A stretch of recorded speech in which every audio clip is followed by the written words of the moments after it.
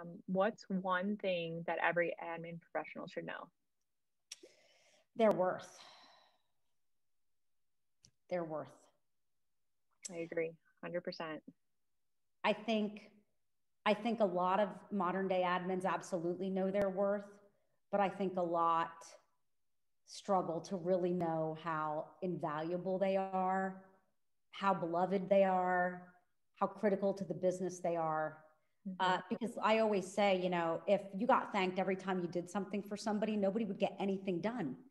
It's the nature of the job. Plus, you're sort of like an appendage to the executive if you're doing it right.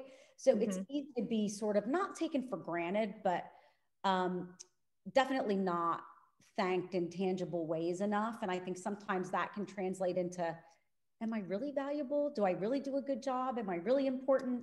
So I think mm-hmm. if every admin just wakes up knowing their worth, regardless of what happens that day, man, it, what matters less than what everybody else, or what matters more than what everybody else thinks, is what you think.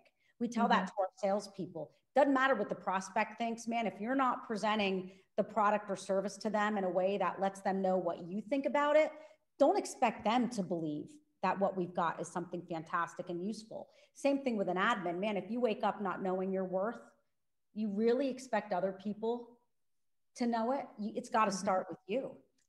Totally.